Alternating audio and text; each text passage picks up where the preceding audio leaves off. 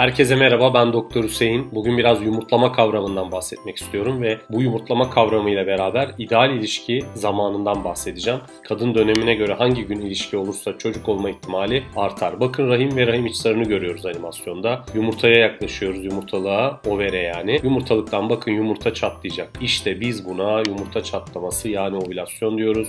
Burada sağlam bir yumurta görüyorsunuz. Bu ovülasyon değerli izleyicilerim ilkbaharda genellikle sabahları olurken e, sonbahar ve kış mevsimlerinde genellikle akşamları olur kadınlarda. Böyle enteresan bir çalışma var. Tabi nedenini bilmiyoruz bunun ama sonbahar kışta akşam oluyor. Daha çok akşam 4 ile 7 arası oluyor ovülasyon. İlkbaharda ise ilkbahar mevsiminde daha çok gece yarısıyla sabah 11'e kadar oluyor bu yumurtlama. Ama bu bizim şu anda konumuz değil. Bu yumurtlamaya baktığımız zaman sağlam bir yumurta bizim için şart çocuk yapabilmemiz için. Bunun sağlam kanallar yani tüpler yumurtayı alıp bakın hemen siyer aktiviteli tüpün içine koyuyor ve ne bekleyecek bu yumurta burada? Sperm bekleyecek. Bir cinsel ilişkide 150-300 milyon kadar bakın 150-300 milyon adet sperm vajinaya bırakılırken bunun az bir kısmı yumurtaya ulaşır ama istediğimiz bizim bir tane spermdir normal şartlarda. Bakın yumurta ile sperm birazdan birleşecek ve daha sonra bakın yumurta geldi spermler geliyor. Bunlardan bir tanesi dölleme gerçekleştirebilecek. Sistem böyle çalışıyor. Babadan 23 kromozom, anneden 23 kromozom geliyor ve böylelikle 46 kromozomlu yeni bir çocuk oluyor ve bu çocuk ne olacak? Rahmin içine gömülecek embriyo ve orada gelişmeye başlayacak. Bakın silyar aktiviteyi görüyorsunuz ne kadar güzel oluşan embriyoyu rahme doğru taşıyor kanalların içinde. Zaman zaman bu kanallarda tıkanıklıklar da olabilir, kısırlığa sebep oluyor. Bakın burada çocuğu görüyorsunuz embriyo yani ne oluyor? Rahmin içine. Yumurtlama kavramı bizim için bu yüzden çok önemli. Demek ki yumurtlama için ne yapıyoruz? Ee, yumurtlama bizim için çok değerli. Her ay bir kere olacak, bir tane olacak, sağlam, kaliteli bir yumurta atacağız. Tabii kadınlar çoğunlukla kendilerini bu yumurtlamalarını, periyot döngülerini, regellerini yani adetlerini bu e, application'larla kontrol edebiliyorlar. Zaten etmeleri de gerektiğini düşünüyorum. Ancak biz application'a gerek olmadığını düşünüyoruz. Zaman zaman bakın gördüğünüz gibi kadınlar dışarıdan eczaneden alabilecekleri, temin edebilecekleri bu idrar kitleriyle e, dediğimiz hormonun e, artışını ölçebilecek bunlar aplikatörlerdir. Yani bu kitlerle de e, adetleri, e, ovülasyonlarını anlayıp ölçebiliyorlar. O yüzden kadınlar ne yapmaya çalışıyor? Tam ovülasyon döneminde cinsel ilişkiye girip çocuk yapmaya çalışıyorlar. Yalnız ovülasyon tabii Bunların dışında kadın vücudunda yumurtlamanın olup olmadığını yani ovülasyonun olup olmadığını vücudundaki bir takım değişikliklerden anlıyor. İşte memelerde hassasiyet olur, karında şişme olur, cinsel istekte artış olur, Böyle vajinada beyaz yumurta beyazı gibi böyle beyazımsı saydam bir akıntı olur. Bazen bulantı olabilir, baş ağrısı olabilir, tek taraflı kasık ağrısı olabilir, karın ağrısı olabilir hastalarda ve vücut ısısı 0.6-0.7 derece e, kadar artabilir kadınlarda.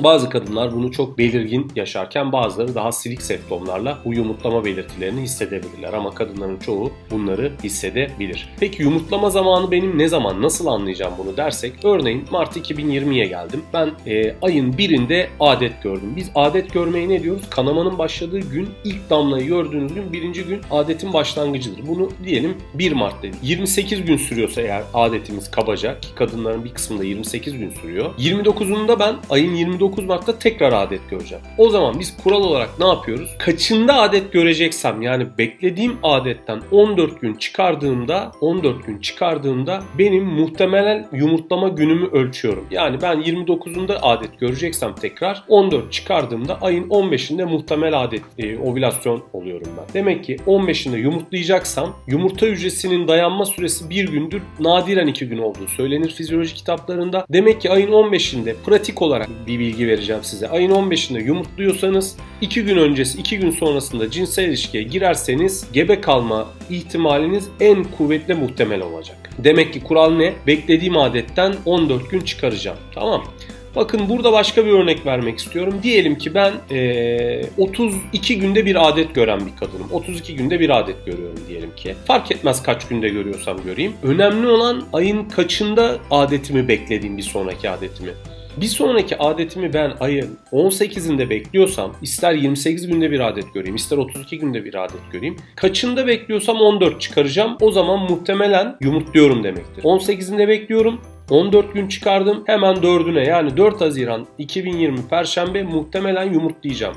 E ben ne zaman ilişkiye gireyim? Pratik olarak 2 gün önce 2 gün sonra en kuvvetli muhtemeldir. Yani 4'ünde yumurtlama var muhtemel yumurtlama. 5 6'sında ilişkiye gireyim. 2 3'ünde ilişkiye gireyim. Bugünlerde eğer ilişki olursa gebe kalma ihtimaliniz fazla.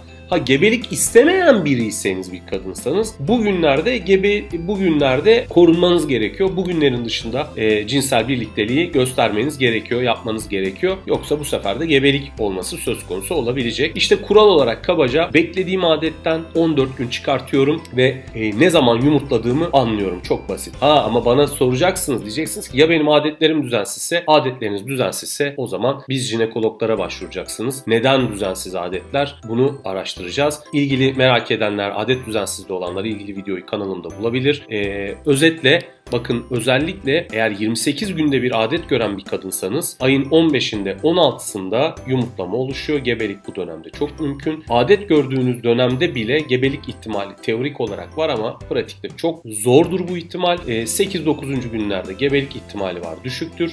Yumurtlama sonrasında 1-2 gün geçtikten sonra zaten artık gebe kalma ihtimaliniz çok azalacak. Kafanıza takılan bir şey varsa hemen burada yorumlar kısmında belirtin lütfen bana sorabilirsiniz. Videoyu beğendiyseniz de like tuşuna basarsanız çok sevinirim. Beni dinlediğiniz için çok teşekkür ediyorum. Sağlıkla kalın.